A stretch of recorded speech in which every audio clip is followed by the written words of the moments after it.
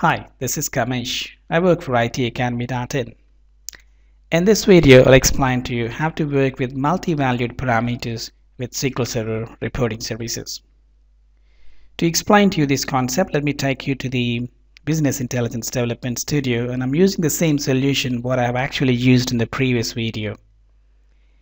So first of all, I'm going to create a new report and I call this report as multi-valued parameter demo and I say okay. So what I what do I mean multi-valued? Let me explain to that. For example, if you can see in my SQL Server, we know that uh, in the previous video I used this table called as saleslt.address.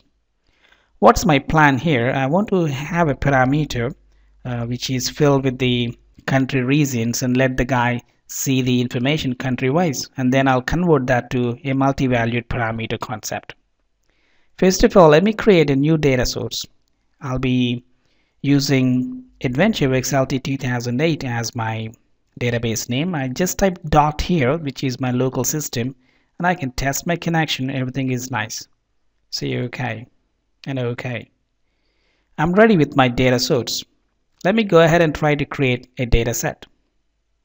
I'm going to use a data set that is embedded in my report because I haven't gone for the shared data sources in this example. Let me select my existing connection which is data source 1.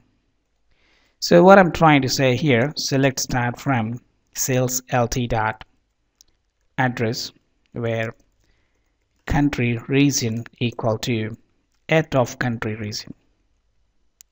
So we are creating a parameter here and I say okay. As soon as my data set is ready, you can now see we got a parameter called as country region.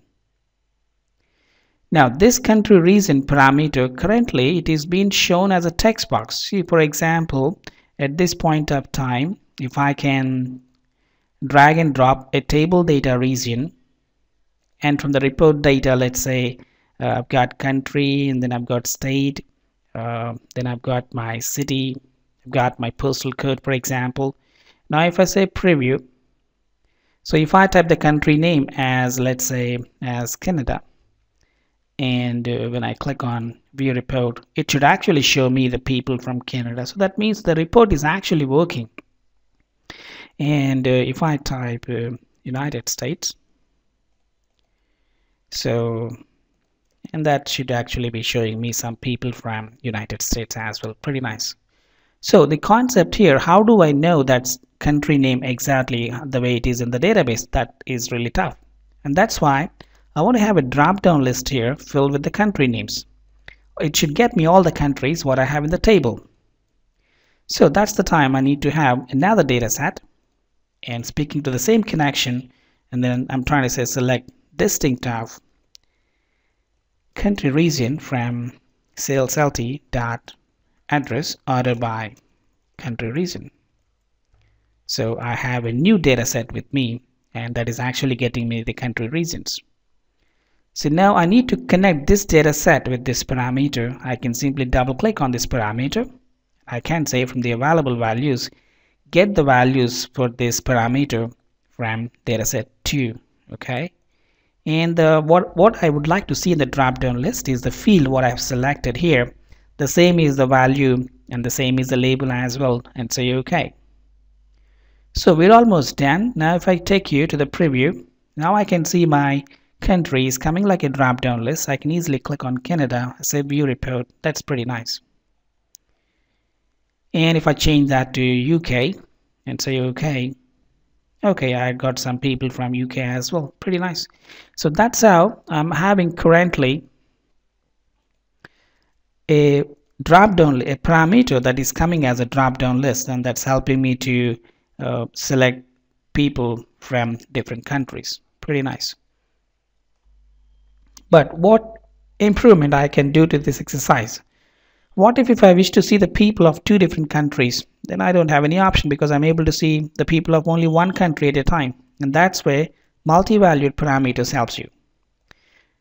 So what I need to do first of all in my data set I said select star from sales lt.address where country region equal to country region so that means uh, it will exactly work for one country. Now instead what I'll try to do I say where country region in in the parenthesis I take my parameter. So in, in general how do we do that in TSQL I would have said actually here you know uh, USA or UK or some Spain you know whatever it is. So this this is how I would have done now instead of doing this by myself now I can simply use my parameter as country region. So we're trying to say so let's start from saleslt.address where country region in country region pretty nice.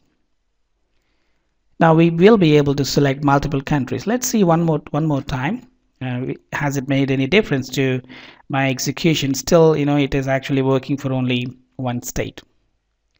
So how do I make that as a multi-valued parameter is by double clicking on my parameter and simply click on this checkbox called as allow multiple values for this drop down let's say OK interestingly if I take you to the preview tab and now you can see I've got all my countries as checkboxes. Now if I click on Canada and if I click on United States and now if I just click outside somewhere here you can see it's Canada comma United States so basically this value gets sub substituted in that in operator and now if I click on view report you can see the people from United States as well as from Canada. Pretty nice. If I click on select all and if I click on view report yes it shows me all the data of all the country people. And you can switch to the next page or to the last page.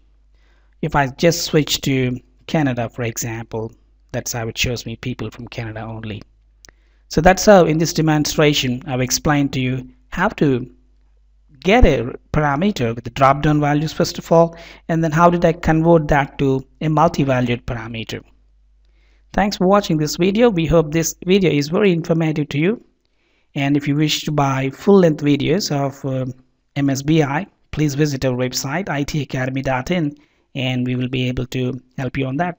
Thanks for watching. Have a great day and bye bye.